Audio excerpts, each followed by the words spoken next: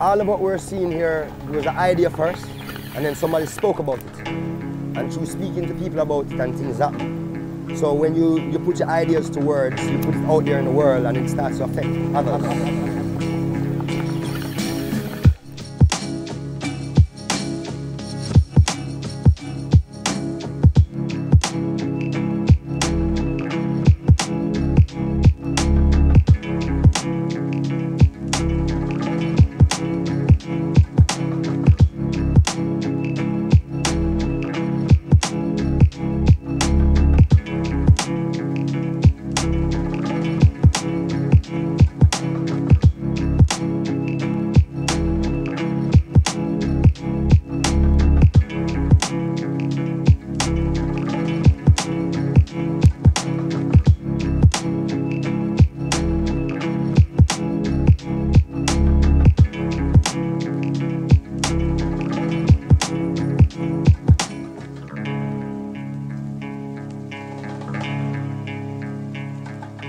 Thank you.